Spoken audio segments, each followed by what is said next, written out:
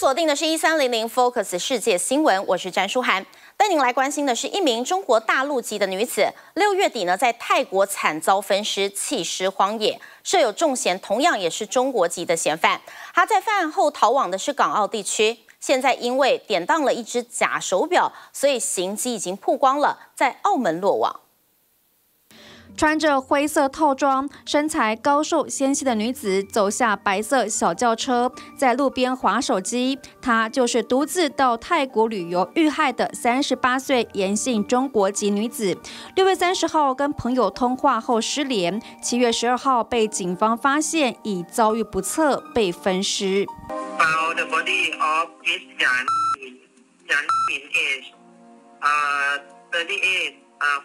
body of the body. of the dead man 沿线女子生前最后画面，在她身边身穿白衣男子是来自安徽，三十四岁，中国籍，被泰国警方列为涉有重嫌，并怀疑他在杀人弃尸后潜逃港澳。现在最新踪迹曝光，上周这名嫌犯到澳门一家当铺典当冒牌手表五万澳门币，被店家发现是假货后报案，因此被澳门警方逮捕。扣查期间接到内地警方通报。话泰国谋杀案嘅疑凶可能藏身喺澳门，调查同比对身份资料之后，证实就系被扣押嘅男人。今日上昼将疑凶移交俾内地警方。近来，中国大陆公民频传在东南亚遇害。上个月才发生医疗器械的高阶主管出差菲律宾惨遭撕票。而根据中国大陆官媒统计，今年一到五月，菲律宾一共十八起绑架案，大多涉及中国公民。TV 新闻综合报道。好，美国共和党代表大会登场，也成为了川普在枪击案之后首度公开露面的舞台。他的右耳包着纱布，但除此之外，精神状况相当不错。不过，有鉴于三天前川普才遭遇到枪击，所以现场维安是高度戒备，场外的制高点都有狙击手在待命，就连车辆进出也都要经过警犬的嗅闻，确保没有任何爆裂物以及武器会影响到会场的安全。Ladies and gentlemen, please welcome the next president of the United States, Donald J. Trump. 枪击后首度露面，尽管右耳包着纱布，但是前美国总统川普看起来完全进入战斗状态，双手不断做出加油打气的握拳手势，满脸笑容。 可以看到，川普一出现，身边就有至少四名维安人员近身保护。走上台时，旁边有一整排的维安人员筑成了人墙，不让支持者有机会摸到川普。维安规格明显是比下乡造势时提高许多。Milwaukee, Wisconsin, right now is probably the most secure place on the face of the planet because we have thousands of law enforcement personnel. 场外的制高点都有狙击手，水道上也有多组特勤人员待命。You look back this direction here, you can see. how vehicles want to enter this area, they have to go through a checkpoint like this one. 放眼所及，每个主要出入口几乎都是警力戒备。毕竟现在川普几乎全家人都到了密尔瓦基现场，众所瞩目的重头戏就是共和党要正式提名川普。It is my honor to nominate Donald J. Trump for the office of President of the United States. 各州代表轮流上台，宣布把党代表票全都投给川普，而川普的副手人选也终于出炉，就是现年三十九岁的俄亥俄州参议员范斯。这一次还同步公布了共和党党纲，可以说是形同川普的一人政党。现在的共和党是川普的共和党。从今天通过的二零二四共和党党纲可以看到，川普对共和党的掌控，从外交、移民到贸易等关键政策，都是以川普的竞选政见为主，也明确看出共和党正式走入川普时代。TVBS 新闻综合报道。美国前总统川普不但是获得了共和党全代会提名，周一他再取得的是一项重大的法律胜利。呃，佛州的联邦地区法官驳回的是川普涉嫌处理机密文件不当的案件，而佛罗里达州的联邦地方法院法官甘农就认为，对于提出起诉的司法部特别检察官史密斯是没有经过适当的程序任命，因此驳回了案件。而这项裁决呢，也是川普自身四起刑事案件当中首次的大获全胜。专家认为了这起案件的胜诉将会加强川普在总统选举当中的竞争力。但是根据了《纽约时报》的报道，甘农这项裁决推翻了近三十年来特别检察官是由司法部的部长任命方式，这可能会对后续造成影响。还有，川普公布的是副手人选，三十九岁的俄亥俄州联邦参议员范斯确评中选。范斯曾经出版了回忆录，描述他的工人阶级成长历程，并且是靠自己的一己之力成功翻身。他的故事还被网飞翻拍成电影过。而 CNN 就分析，范斯从政的时间只有两年，被川普选为副手，可能看重的是他的商界人脉，可以来争取细谷科技业的支持。J.D. J.D. J.D. 共和党全代会上，大家高呼 J.D. 的大名，因为川普终于宣布他的副手人选就是俄亥俄州参议员范斯。川普是在自己经营的社群网站上宣布挑选范斯当副手，而且就连小川普都说事先不知情。When did you find out that he had made the pick of Senator Vance? Couple seconds ago. 三十九岁的范斯因为家境贫穷，高中毕业就到海军陆战队服役四年，还参加过伊拉克战争。退役后进入耶鲁大学法学院，并活跃于创投界。You got a right to your own life. Don't make us your excuse, JD. 范斯在二零一六年还出版回忆录《绝望者之歌》，描述他的工人阶级成长经历，不止成为纽时畅销书，还被 Netflix 翻拍成电影。尽管范斯曾在二零一六年骂川普可能成为美国希特勒，不过二零二二年他却在川普的支持下当选参议员，从此成为川普坚定的盟友。On day one of a potential Trump administration, J.D. Vance is likely to start running for president in 2028. 范斯也是唯一一位曾和川普去西岸摇摆州的人，因为范斯的商界人脉对川普阵营极为重要。Because J.D. Vance had secured relationships with a number of Silicon Valley tech moguls. This was a huge coup for Donald Trump. This is a world that he had never really ventured up into. CNN 记者也提到，范斯获得川普青睐的另一个原因和川普的儿子小唐纳。 川普有关。I think he's an incredible guy with an amazing story, both in business and in life. 共和党确定推出川范配选总统，小贩也闻到商机。他们在徽章和海报上印上两人的名字，还说过两天又会有 T 恤亮相，要抢这波选举商机。TVB 的新闻综合报道。共和党总统候选人川普遭到枪击，现在嫌犯的行凶动机还在调查当中。只是这起事件似乎让投资人看好了川普会当选，包括了川普的社群平台、还有枪支制造商以及监狱的营运商。在这些川普概念股带头下，美国的道琼工业指数周一是大涨超过两百点。川普遭枪击后两天，FBI 人员进入枪手的家，持续搜证中。事发的肇事现场，国旗仍在飘扬，然而枪手的刺杀动机却依旧不明朗。回顾当下混乱场面，民众听到枪声逃跑，现场四家媒体的记者则是坚守岗位。At the moment I heard the shots being fired, I knew that this was a moment in American history that had to be documented. 美国总统拜登在枪击案前曾向金主表示要把川普当靶心，没想到一语成谶，现在他也为这番言论道歉。It was a, mistake to use the word. I'm going to focus on him, focus on what he's doing. 川普遭枪击，大难不死，还创造英雄形象，加深投资人对川普胜选的信心，坚定压住川普概念股。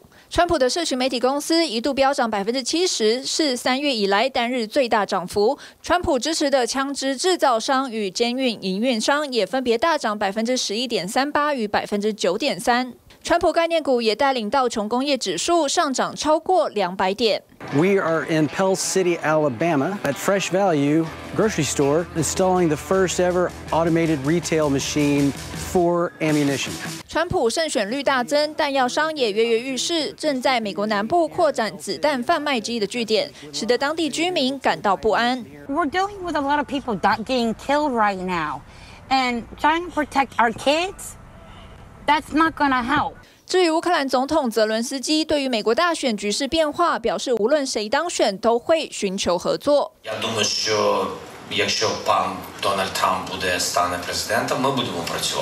川普枪击事件为美国大选带来变数，国际间也在观望，预做准备。TBS 新闻综合报道。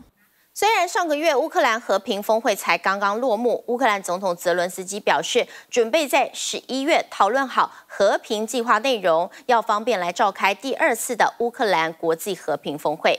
泽伦斯基表示了，目标是要在十一月准备好完整的和平计划。乌克兰希望今年之内可以举行第二次乌克兰和平高峰会，而会议地点呢锁定在南方的某个国家，并且会邀请俄罗斯代表参加下一次峰会。但是俄罗斯一名副外长上周已经表明了，俄方不会出席之后的和平峰会。除此之外呢，十一月份的美国大选也是一大变数。有意结束对乌军军援的总统候选人川普，在枪击事件之后声势强大。泽伦斯基表示，如果川普成为总统，将会共同努力，并不担心川普重返白宫。而美国大选的结果确实是会牵动未来国际局势，因此川普遇刺案件也受到了各国的关注。乌克兰总统泽伦斯基第一时间声援了川普，谴责暴力。至于俄罗斯官方话呢，是讲的非常的谨慎，说是不相信美国政府会策划暗杀川普。不过呢，俄罗斯媒体则是借机嘲弄了拜登跟北约领袖。东部前线的乌克兰士兵看到前方有敌军的身影，决定先发制人。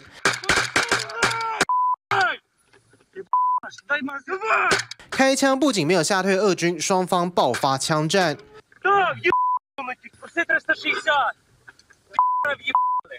乌军自己中弹，先退回壕沟。这场在乌东利曼附近发生的壕沟战，乌军明显寡不敌众。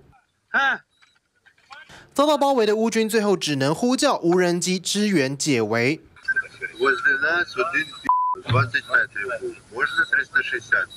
决定乌克兰命运的枪声不止出现在前线战场。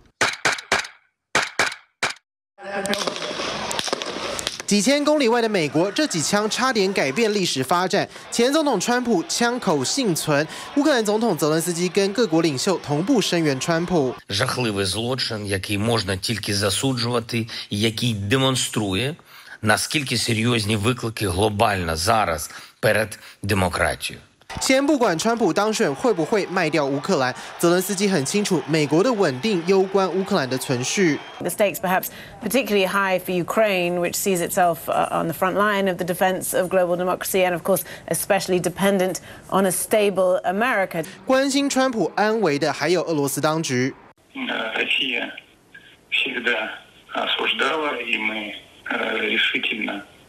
Мы совсем не думаем и не считаем, что попытка устранения кандидата в президента Трампа была организована действующей властью.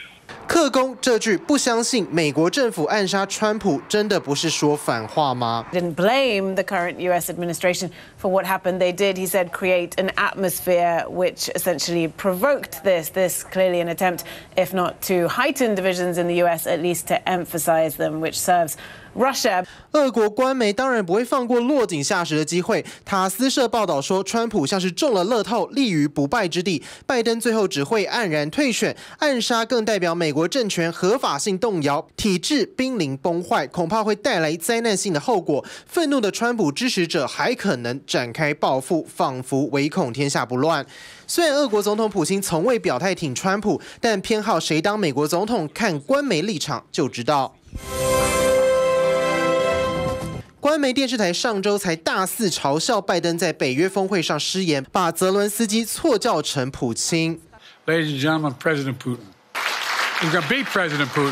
President Zelensky. I'm so focused on beating Putin, we got to worry about it. Anyway, Mr. President. I'm better. You are a hell of a lot better.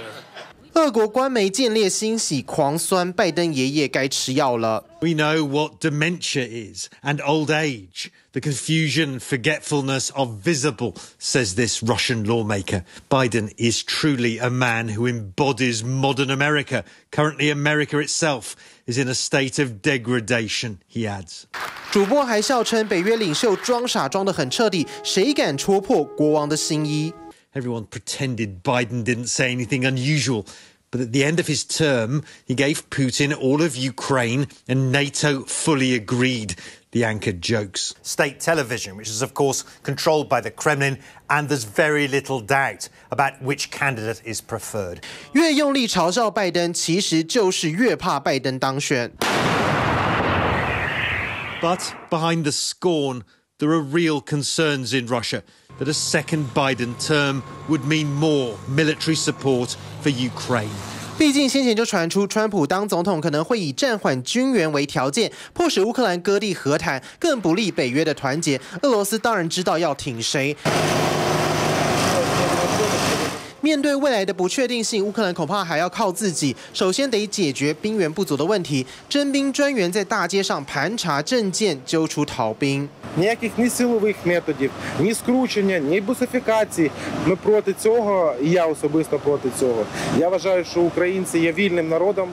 再三保证不会强拉入伍，还是难以洗刷负面形象。Дуже мало пояснюють людям, що їм мало чого боятися. Дуже мало пояснюють того, що у них є всі шанси опинитися не у якихось штурмових бригадах чи десь щось, а принести користь державі. За ці три роки ця провальна політика призвела до того, що було у ТЦК створено дуже негативний фон. 缺兵缺武器，恐怕也只能撑一天算一天。体育选综报道。 匈牙利总理奥班日前趁着轮值欧盟主席国身份，单独出访了俄罗斯和中国，发表了和欧盟相左的乌俄和平言论。而欧盟多国呢，以降级参与在匈牙利举行的非正式部长会议来抵制。包括了瑞典、芬兰、爱沙尼亚、拉脱维亚、立陶宛，还有波兰等六个欧盟东北区的国家，已经决定了整个七月份，他们都不派部长到匈牙利去开欧盟的相关会议。而执委会呢，也决定的是，所有的执委下半年都不出席上述会议。至于欧洲议会，十六号到十九号将会举行改选后第一次的全体议员大会。通常每半年的首次大会都会安排轮值主席国元首来发表演说，但是欧洲议会这一次以议程太满为由，延后了奥班开讲的机会。美洲杯足球冠军赛，台湾时间十五号在美国的迈阿密登场了，由阿根廷对上的是哥伦比亚。超级球星梅西先发上阵，但是开赛第六十五分钟左右就提前伤退了，他也难过的掩面痛哭。不过球队最终还是以一比零来夺冠。另外是梅西的魅力早就已经提前引爆，有球迷为了看比赛翻墙，他越过了栅栏乱闯，结果被维安远警驱逐。美洲杯足球决赛，台湾时间十五号早上在美国迈阿密登场，由阿根廷对上哥伦比亚，超级球星梅西先发上阵。梅西开赛第三十五分钟带球突破底线，被对手缠倒，抱着脚躺在草地上，一度需要在场边接受治疗，幸好还能上场，但半小时后。第六四分钟，梅西跑过中场时没有和人发生碰撞，跌倒在地上，表情痛苦。队医上场检查梅西的伤势，确定他无法比赛，只能落寞退场。冠军赛提前伤退，梅西坐在休息区，掩面激动落泪，因为这可能也是他生涯最后一场美洲杯。幸好没有梅西，队友仍旧给力。阿根廷靠着马蒂内兹在延长赛第一百一十二分钟进球，他也兴奋地冲向梅西一起庆祝。中场一比零击败哥伦比亚，完成美洲杯二连霸，拿下阿根廷队史第十六座冠军。赢球不一定要靠梅西，但不少球迷都是冲着梅西而来。What is going on here？有球迷被拍到为了争夺梅西风采，爬上通风口想溜进去看球赛。People are still climbing。还有人翻过栅栏，甚至从围墙爬进去，遭到现。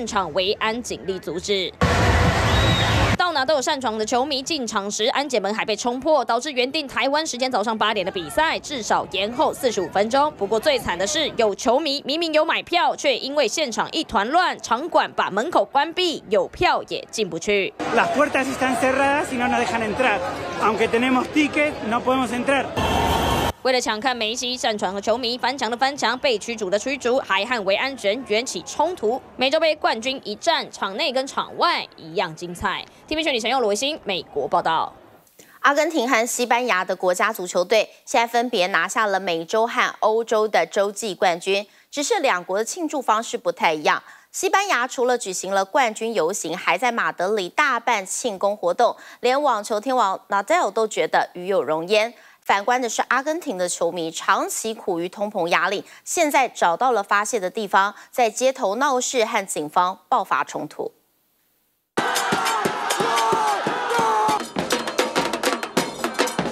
上万足球迷聚集在布宜诺斯艾利斯，要庆祝阿根廷在美洲杯足球赛完成连霸。球迷一边跳舞打鼓，还一边高喊他的名字。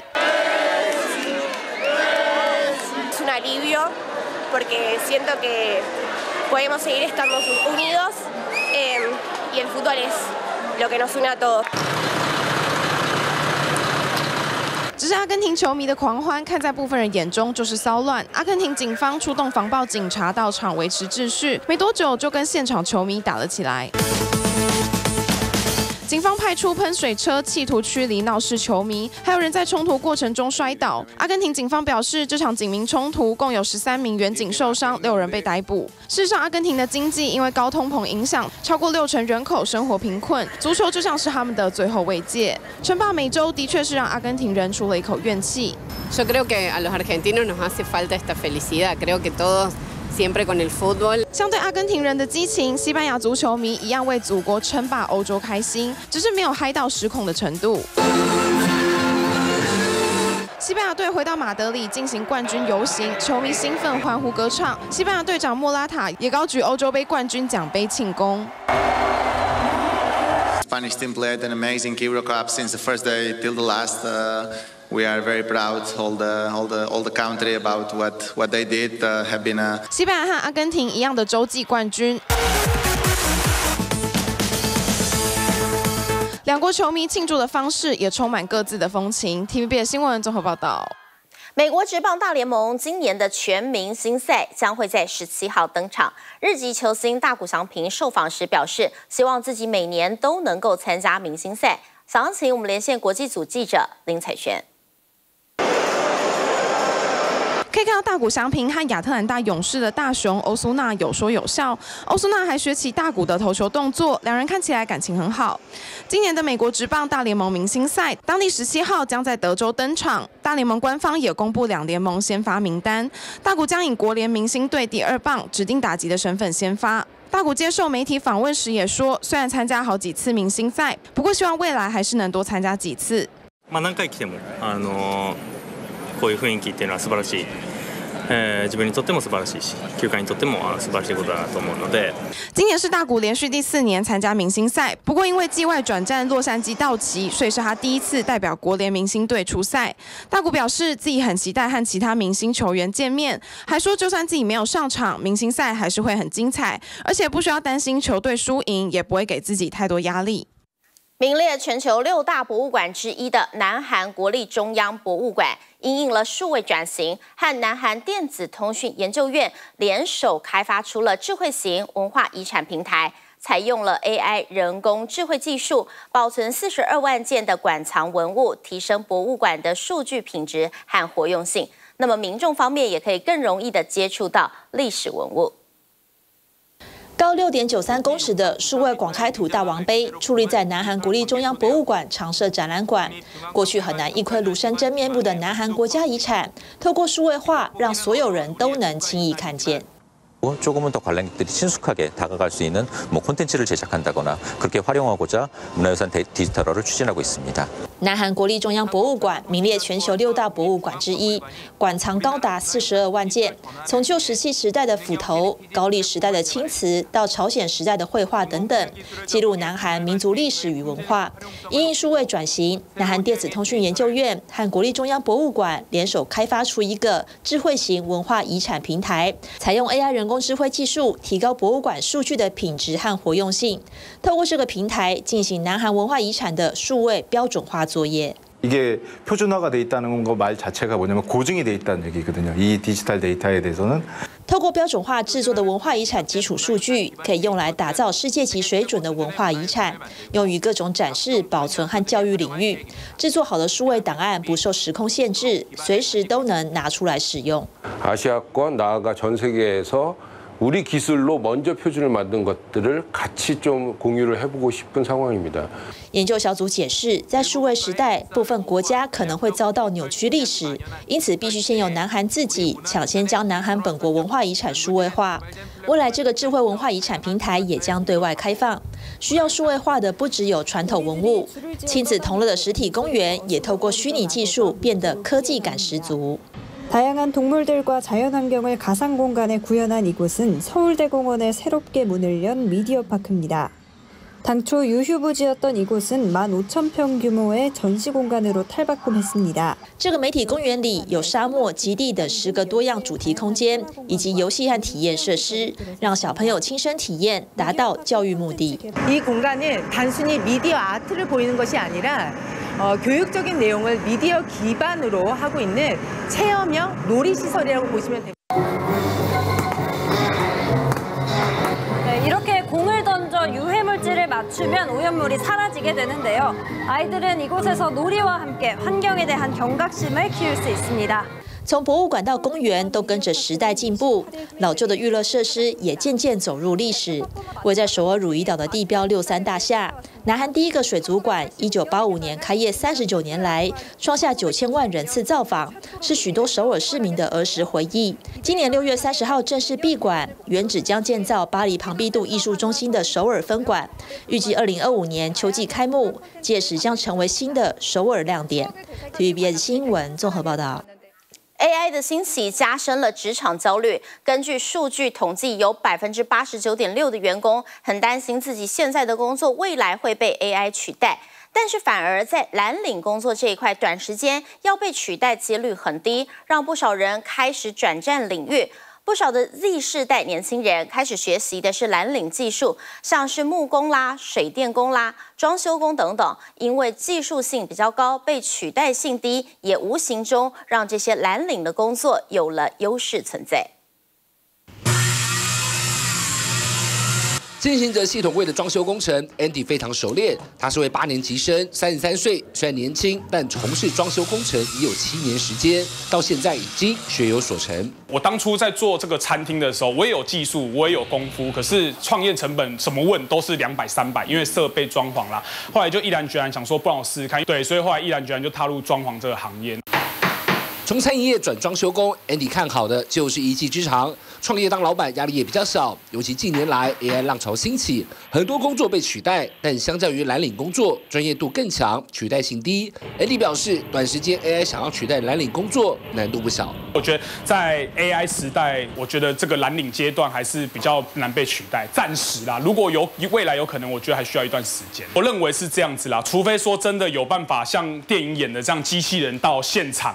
然后去帮你做这个分类，这个整个系统环境这样子，要不然的话，我问，我目前认为蓝领要被机器取代的几率还是偏低一点。毕竟 AI 浪潮来势汹汹，蓝领工作反而更具优势。根据美国数据统计，职技培训课程不断增加，二零二三年的注册人数就上升了百分之十六，二零一八年开始追踪以来的新高数字。有美国工人上传推热水器的短影片，上传之后竟然有四十七万次的点阅观看。另外一位二十七岁少女是水电工，常常发布工作影片，统计起来有两百二十万的观看人数。年轻人的蓝领技术工作越来越夯，当统包，所以很多老师傅会觉得你一定不专业。可是我我我我自己认为，专不专业这件事情，不代表年纪很轻就不专业。我也是花了七年的时间，对不对？人家常说的，睡得比睡得比狗晚，起得比鸡早。对，那我觉得这个在学习的时候就要认真去学习。那学习完之后，我不认为说我们的观念跟技术一定比老师傅差。在二零二三年，美国有一个调查公司就调查了相关的薪资数据，发现说蓝领阶级在二零二三年的薪资水平是来到了四万八千元的年薪美金哦。那另外呢，在白领这边则是来到了三万九千元的美金，而是年薪的部分。其实这落差是蛮大的，是水电工啊，或者是工程技师啊，甚至是室内的建筑等等。这样子的工作有越来越多的新鲜人开始向往，担心工作会被人取代。根据人力银行统计，有百分之八十九点六的劳工透露，担心自己的工作职务被机器人或 AI 人工智慧取代，比例高于去年调查的百分之八十七点二。最容易被取代的前三名工作，第一名是售票员百分之五十四点三，第二名是客服人员百分之五十三点六，第三是产线作业员百分之五十二点二。技术性低就容易被取代，蓝领工作反而逆势抢出头。我发现就是台湾其实缺工的情形越来越严重，但是而而且有部分的有部分工种啊，他们还面临技术的断层。但是我其实我最近有发现，就是有一个一个趋势，就是 AI 的浪潮，它有开始渐渐取代了白领部分的工作嘛，然后就会变成说，哎，其实现在年轻人我发现他们开始愿意觉得蓝领有更多的机会，然后他们觉得蓝领的收入的结构也比较好，也比较稳定。年轻人投入蓝领工作意愿也相对增加，现在也有培训单位提供相关课程，包含家具、木作、装修、建筑等领域，不再像过往只有师徒制教学。台湾授课吸引更多年轻人。协会统计，光是这一年来，三十五岁以下年轻朋友比例就超过四成，而且年龄层逐步在下降。协会现在有开始推出像木工课程、水电课程、像系统柜组装课程，或是你做课程，这些课程呢可以帮助，就是如果你想要在装修界有一技之长的人呢，你可以借由这些课程，你不用再花三到五年的时间啊，一直跟一个老师傅学技术，你可以借由这些课程考核过后呢，你就可以变成你可以开始做接案，甚至创业。协会呢会辅导他做创业，甚至做发案的动作。蓝领工作不再低下，在 AI 浪潮的风口浪尖上，反而具有难以取代的专业性，也成了历世代年轻人新形态的工作选择。TVB 新闻中的来明台北采访报道。最新消息是，十九岁的韩职啦啦队新女神李珠莹，她将来到台湾。她靠的是一曲三正舞，在网络上头爆红，更被韩国的网友形容美到像是 AI 一样。详情我们连线给记者刘宇轩。富邦悍将将在七月二十七、二十八号在台北大巨蛋举行活动，将邀请六名韩职奇亚虎啦啦队来台，其中包括最近爆红的李珠莹，立刻在网络引起轰动。这几年韩国啦啦队队员大举来台湾，而且都享有高人气。才十九岁的李珠莹是韩国啦啦队超级新星，她拥有一百七十公分姣好身材和超高颜值，甚至被韩国网友形容为美到像 AI。而李珠莹在 YouTube 有好几支观看人。数破千万的影片，才出道没多久就拥有超高的观看次数。特别是他以一曲三正舞在网络上爆红，台湾球迷有机会看到他在大巨蛋跳原汁原味的三正舞。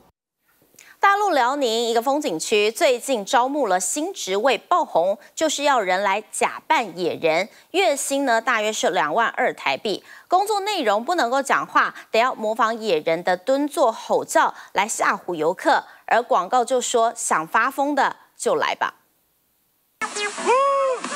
发出类似山顶洞人的叫声，手拿木质弓箭吓唬游客。这是中国大陆辽宁最近爆红的一个风景区卖点，这些野人都是打工仔装扮的。那别人被吓唬了，还小呢，都是人，那有啥可害怕的？等我自己过一个准备吓了一跳，就看到野人了，知道是人扮演的，但心里边呢还有点害怕。没错，模仿野人蹲在地上发出声音，工作内容就是吓唬游客，跟游客互动，还传出跟游客抢午餐。月薪五千元包午饭，而野人演员可以抢游客午饭为不实消息。装扮成野人的工作月薪约合台币两万多，但是工作时不能说人话，要彻底变成野人。招募广告称，压力大的或是精神状态不好的，想找地方发疯的都可以来报名。这份工作必须是全职，不能只做几天，每天约三四场表演，早十晚三，每周五到周末必须加班。我们是确实是招满了，我们从四月份就开始招，他这个工作时间是从四月份到十月底。园方表示，原本计划招募十人，但经过大家认可以及演员轮班需求，最终招募了十四人。而扮野人撒野成了园区亮点，也让这十多名求职者找到了舒压工作。TVB 新闻综合报道。路透社报道，法国反垄断的监管机构十五号证实了，正在对 AI 晶片大厂辉达展开调查，要厘清是否有涉嫌反市场竞争的行为。法国的反垄断监管机构表示，如果调查取得了成果，那么辉达将会面临指控，违反法国反垄断规定的公司可能就会面临全球年营业额百分之十的罚款。而除了法国以外，美国当局也盯上了辉达。美国司法部日前传出和联邦贸易委员会达成协议，将会推动针对了微软、OpenAI 以及辉达在 AI 领域的主导地位展开反垄断调查。AI 当道，不少人都会透过 AI 来选股。YouTube 的共同创办人陈世俊，他也看到了 AI 趋势，所以和台湾团队创立了 AI 驱动 ETF。上周呢是已经在美国证交所挂牌了，这也是首个台湾团队在美国证交所挂牌。不过，现在各种的 AI 选股 App 众多，专家就表示，AI 的优点是能够快速分析大量数据，给出建议。但市场担忧的是，担心恐怕会造成资金高度的集中，波动加剧。以往投资看盘看个老半天，现在 AI 当道，不少人就靠它来选股。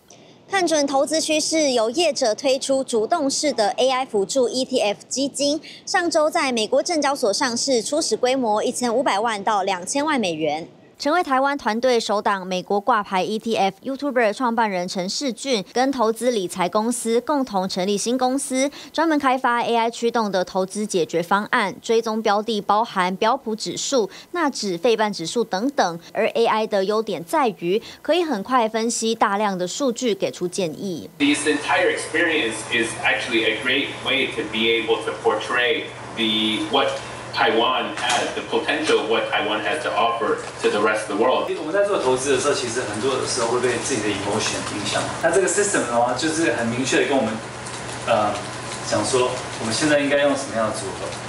AI 选股市场夯，主动式 ETF 也来抢夺市场大饼。而讲到 AI，耳熟能详的就是 ChatGPT。我们实际测试一下，请人工智慧推荐个股，可以发现台积电、台塑、联发科、红海、台哥大都是它的推荐名单。而摊开获利表现来看，都是稳定成长的公司。不过 AI 选股市场也传出担忧，担心可能会造成市场资金过度集中，助涨助跌，波动加剧。我们是不同的人，不同的方法。也许你看中的是股票的价量，你用价量去定的条件。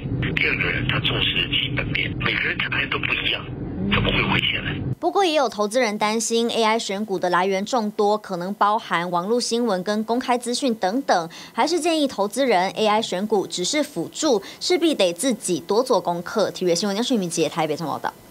美国的阿肯色州，一个人口只有五万多人的小镇，这里的住户收入却比美国平均收入要高出了两成。对很多人来说，这是一个名不见经传的本顿维小镇。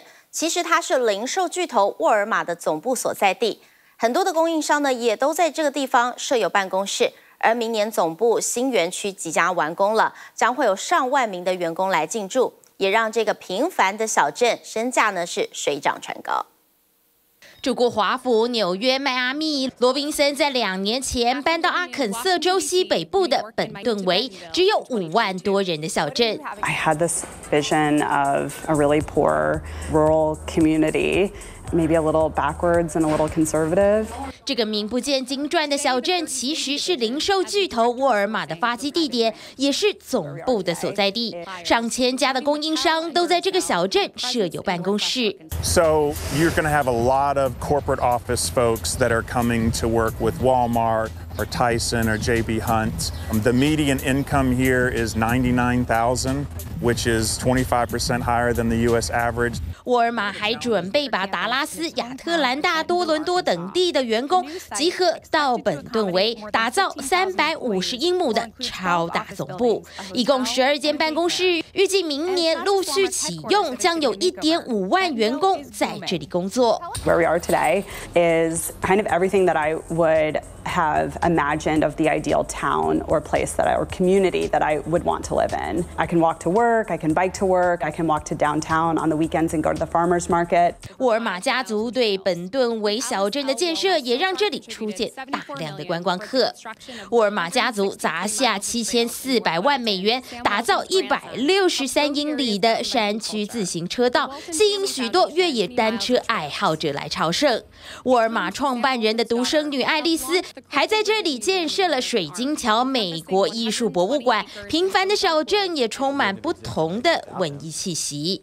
There's a little bit of an Aspen feel, a Colorado feel. A lot of people from Colorado are coming here. It certainly has, from a museum feel and a job market feel, a little bit of a New York piece. 受到沃尔玛家族的带动，小镇在二零一零年代原本不到三点六万的人口，在十年之内增加百分之五十三。二零二二年，当地家庭收入的中位数也达到九点九万美元，成长了将近四成。Started with Walmart kind of having their supplier group. move in in 2003 and that sort of is what took off more people coming in honestly people be i'm not getting crying in my car like i am not moving to this place please don't move me here and over the years it's gotten easier and easier to bring people in 随着沃尔玛以及供应商的活动小镇也越来越活跃但同时也让当地的房价水涨船高 honestly i struggle with that in that if you were buying a house today again 10 years ago the average price per foot was $83 per foot. Today, that same category is about $190 per foot. So yeah, it's it's a struggle. 目前整个阿肯色州西北部有着将近五十八万的人口，但随着零售巨头的带动之下，预计二零四五年人口将达到一百万人。因此，包括基础建设还有交通等相关问题，这个沃尔玛小镇将陆续面对更多考验。TVB 新闻综合报道。彰化的王宫渔火节举办了千人考科活动，现场要求民众科壳必须要回收，民众则是以为科壳呢是一般垃圾，环保局也当做了硬质类的垃圾处理。业者则表示，因为科壳磨成粉之后就可以当肥料了，所以要请大家帮忙回收。彰化王宫渔火节举办千人烤科活动，大家吃的不亦乐乎，但吃完之后剩下满满的壳壳该怎么处理？它不是蔬果的回收，应该是另外放，也不能放在厨余。一般民众直觉海鲜壳就是垃圾，不会丢回收，但在彰化，壳壳、螃蟹壳等等，这些都是可以回收的，跟环保局公布的相关规定不一样。检查内务是否落实回收。彰化县环保局说，壳壳、蛋壳、螃蟹壳这些都是硬质类垃圾，可以直送焚化炉。但王宫渔火节却规定，壳壳必须回收。对此，县府解释，因为王宫深港一带盛产珍珠科，回收可以做成石灰以及土壤改良剂，所以被视为回收物。黑东西回收啦，石灰粉、石灰粉，黑的是买当净化水质。有的民众没特别注意，直呼长知识了。彰化特别的还有这个，炎炎夏日手摇饮料生意好，不少民众都会加珍珠、仙草等配料。一般情况，珍珠跟仙草如果没吃完是熟厨余，但彰化鹿港跟和美的垃圾车却不熟。在地业者透露，原因是这两地的手摇饮料店过度集中，一旦开放让业者回收珍珠跟仙草，随车的厨余桶很快就会爆满，所以大家只能自己再到清洁队据点回收。全台各地都算是熟厨余，可以直接丢，唯独彰化跟大家不一样。TVBS 新闻陈志忠、陈怡君、许佑祥彰化厂报道。好，这个所长也跟大家不一样，这是台中丰原翁子派出所，他们有一位猫咪所长，是一只六个月大的米克斯，它叫做舞动妖。而且呢，它还有特制的警察制服哦，配接是两件衣，因为太萌了爆红，不少的粉丝专程带了肉泥罐罐来找他，但因为要来看猫所长的人太多了，派出所只好定出了撸猫守则。台中丰原分局翁子派出所所长武动妖，请回喵。它就会不知道怎么动。你没有看错，一只猫猫穿特制警察的猫制服，上面还有配接两线衣，星星徽章变成猫脚掌。重要勤务换上战术背心也没有问题，和抱着他的远景人猫搭档。这位所长萌到爆炸，但他不只是卖萌，为民服务也是一流。你辛苦定哪炸贼啊？啊，你行较对，你行较对哦。嗯，拢知影你是对。真正的所长抱着猫所长，翻开他颈圈上的 AirTag，解释给长者听。带上这个，不管走到哪都能定位。舞动腰直接变成防走失活教材。猫所长太可爱，直接成为翁子所新景点。幼儿园整群小朋友挤在派出所里面参访，重点之一就是要找舞动腰玩。叫舞动腰，他就会有反应。就知道那个是他的名字。其实吴东幺这个名字代表的是翁子派出所的巡逻车代号。当时他才一个月大，就到翁子所报道，年纪小，还在实习阶段，就趴在学长的腿上学习处理文件。现在的他已经六个月大，能够正式穿上警察制服，独当一面。有一个是住在我们附近的居民，然后他每天都是搭公车，他偶尔就是会搭公车提早一站在我们这边下车，然后特地带一条那个肉泥。那另外之前还有一对年轻的情侣是特别从台南开车北上，就专程要来看他。吴东要太萌爆红，粉丝还会带着肉泥还有罐罐来进贡，知名度已经影响他对工作的专注度。所内逼不得已，只好在脸书发布撸猫守则：第一，只要所内在侦办刑案或处理事故不开放；第二，活动范围以交易空间为限，也不能超过半个小时；第三，要拍照可以，但不能拍到文件。最后一点也是最重要的，只要吴东要不赏脸，请勿报警处理，勿干扰本喵。TV 全家专业罗欣台中报道。看到是艺人林柏宏近期新电影《爱的噩梦》上映首周就获得了好评，还受邀参加纽约的亚洲影展。哎，对啊，怎么会牵手啊？要跑超快！一起手牵手上台，笑容都超灿烂。创作歌手九 N 八八和演员林柏宏一起公开代言，首次合作拍广告，效果十足。其实我很少在拍广告现场，就是玩一些节搞笑的，对对，即兴的这个节奏啊什么的，搞笑这样子，就玩的蛮。也也有有啊，有笑什么时候笑场？蛮多有趣的时候，对对对，可能要笑的也不止拍广告吧。两个人近期影视作品都是猛烈袭来。林柏宏新片《爱的噩梦》上映后获得好口碑，更是要前进纽约亚洲影展。就先问了爸爸一下，就是他之前待在纽约很长的时间嘛，然后就说，哎，有什么好玩的、好听音乐的地方？的地方，然后可以逛一逛。做好攻略就可以出发进军国际，因为《爱的噩梦》还获选韩国富川影展的评审团大奖。林柏宏。也再更上一层楼，对我来说很新鲜的经验。对，因为之前没有机会嘛，然后我觉得，呃，同样的电影，我觉得在不同的文化当中，如果也都能够感受到里面的。笑点啊，对我来说都很新鲜，都很好玩。而九 N 八八除了音乐，也准备再度进军大荧幕，新作《爱情城市》成为个性大方的女孩。台笑说自己其实有点社交恐惧，比较怕生呐，某某部分有点怕生，在个私底下的个性，所以我觉得是一个很好的。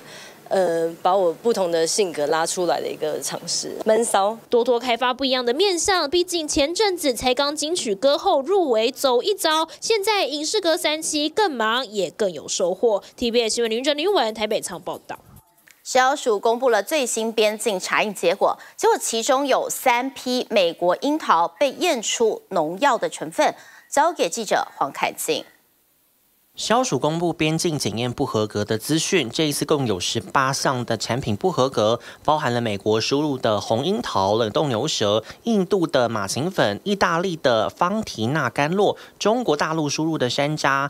检出了农药或者是含有污染物质以及毒素不符合规定，而其中美国樱桃今年五月有三批验出了灭分唑，七月九号又有两批验出灭分唑，本周又有两批的美国樱桃出事，共计四千一百一十公斤的商品依照规定退运或销毁。而针对美国樱桃管控措施，食药署副署长林金富表示，一直到九月三十号在边境会采取加强抽批的措施，强度是百分之二十到百分之五十。而这些不合格的输入厂商将会依照风险等级来进行调控。感谢你的收看，我是詹淑涵，我们改天见了，拜拜。